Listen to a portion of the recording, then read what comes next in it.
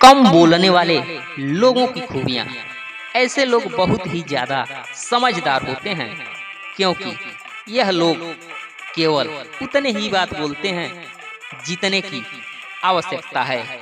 आप ऐसे लोगों से अपने राज की बात भी कर सकते हैं, क्योंकि यह लोग किसी को कोई बात नहीं बताते।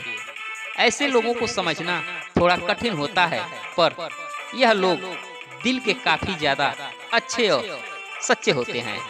ऐसे लोग अपने जीवन का बहुत बड़ा समय केवल अपने लक्ष्य की ओर ही लगा देते हैं।